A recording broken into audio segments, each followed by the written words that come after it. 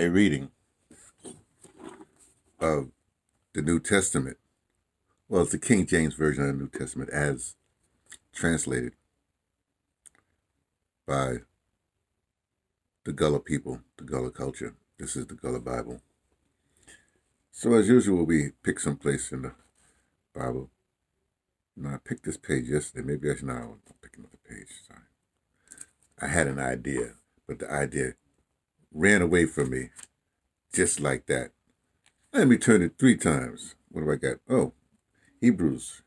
Hebrews 9. Let's go through Hebrews 9. Man, I can't read this. What am I doing?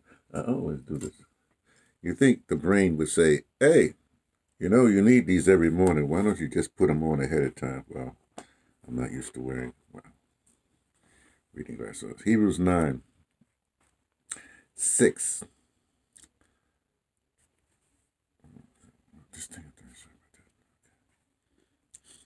After they done get the place ready like that, with all them thing in the place, the priest them can go inside the first room every day when they that do their work for God.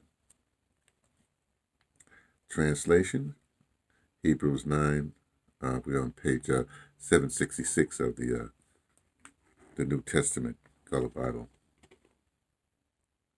Now, when these things were thus ordained, the priests went always into the first tabernacle, accomplishing the service of God. Okay, first tabernacle. I guess that's the rosters will uh, enjoy that.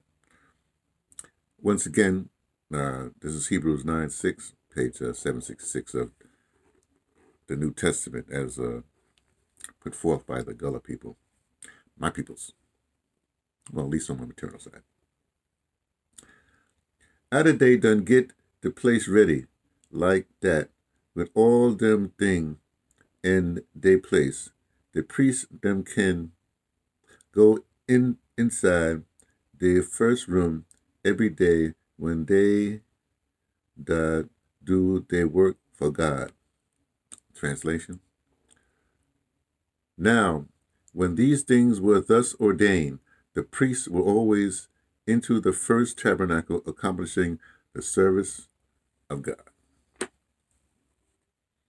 There you have it. A reading from me, T, from the Pattersons, taking the train to Tibet, letting you know what I only suspect oh, oh about the, oh, the Gullah culture.